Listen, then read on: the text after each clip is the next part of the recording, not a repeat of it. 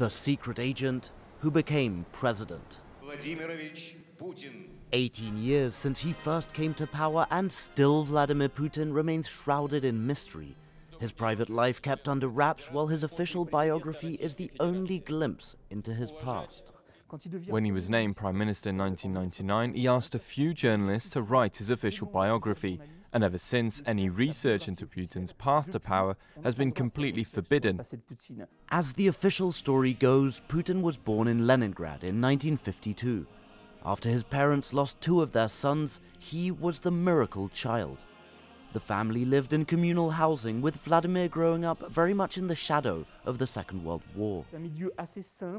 It was a simple upbringing, a communist upbringing. His father was a party member, while his grandfather used to be Stalin's chef. So young Vladimir grew up in an environment that fostered faith in the Soviet model. Following his dreams of becoming a spy, Putin joined the KGB after law school. In 1985, he was sent to East Germany to work inside the University of Dresden. From there, he saw the Berlin Wall come crumbling down and with it, the Soviet Union itself. A national humiliation Putin would later describe as a catastrophe. When I say that the fall of the USSR was one of the greatest catastrophes of the 20th century, I'm talking about a humanitarian catastrophe above all. After the dissolution of the USSR, 25 million Russians suddenly found themselves in a foreign country. It was genuinely a humanitarian catastrophe. Putin stepped up from his role as director of Russia's secret services to become prime minister in 1999 and then president a year later, succeeding to Boris Yeltsin. The oligarchs saw him as a new puppet, but Putin proved to be a strongman, physically fit, regularly flaunting his brawn in public, but also authoritarian, sidelining opponents and seizing control of the media.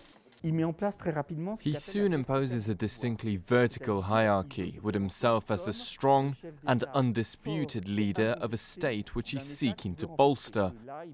He develops a glamorous cult of personality around himself to give Russians the impression that after years of struggle, they finally have a real leader who's in charge. Over time, Vladimir Putin adopted a growingly nationalist stance, positioning himself against the West both in foreign affairs and on social issues. As an alternative to what he sees as Western decadence, the president offers the image of a strong Russia, a disciplined Russia, appearing as a guide not just for his own people, but for anyone around the world who believes in conservative values.